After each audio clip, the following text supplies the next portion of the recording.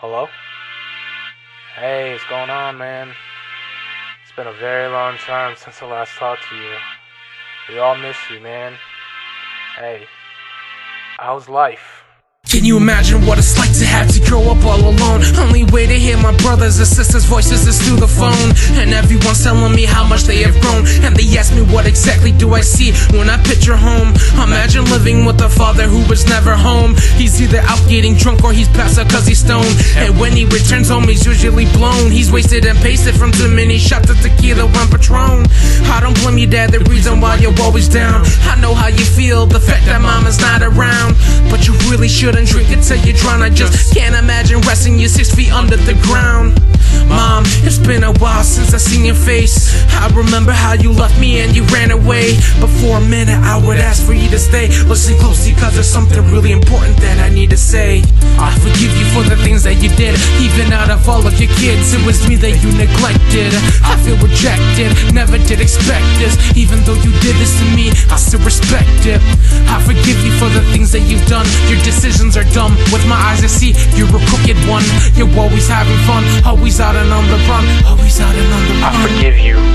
To my brothers and my sisters, I hope you're doing great. I hope you try to stay in school and try to get them good grades.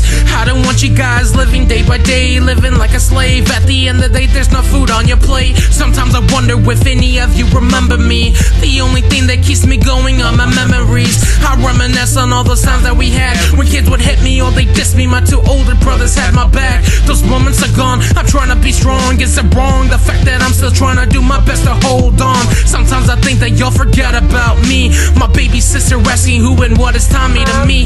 Mama's always out and she's out with her friends. At the end of the day, she's got another new guy again. I know I was a pain, I drove you insane. That's what happens when you have kids. But all I have to say is, I forgive you for the things that you did. Even out of all of your kids, it was me that you neglected. I feel rejected, never did expect this. Even though you did this to me, I still respect it. I forgive you for the things that you've done. Your decisions are dumb. With my eyes, I see you're a crooked one. You're always having fun, always out and on the run, always out and on the run, on the run. But I still forgive you. I forgive you for the things that you did. Even out of all of your kids, it was me that you neglected. I feel rejected, never did expect this. Even though you did this to me, I still respect it. I forgive you the things that you've done. Your decisions are dumb. With my eyes, I see you're a crooked one. You're always having fun, always out and on the run. The only reason why I forgive you is cause I'm still your son. I'm still your son.